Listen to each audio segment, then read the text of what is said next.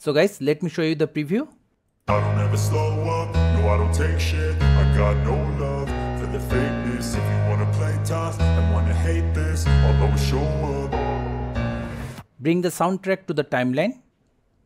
Then go to graphics, overlay, see more, scroll down, audio visualizer, bring it to the timeline. Let's zoom in, give it same length as our audio. Now for the text, go to text, default text, give it same length too. Now select the text layer, go to right side, text, edit text, put the lyrics on. I don't ever show up. Give it some space, select all text. Let's change the font style, font size and position it where you want. Suppose you want to position it at bottom. Now it's really simple. Just zoom in, press on spacebar and hear the music then again spacebar to stop. When you hear the main word, from that point, move like 2 to 3 frames. Now select the text layer, press on S to split or click on this button, then repeat this process.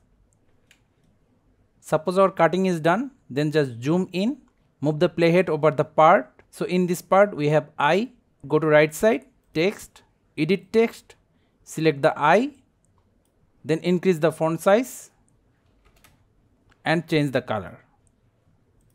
Repeat the same process, move the playhead, select the part, edit text, don't, select it, change the font size,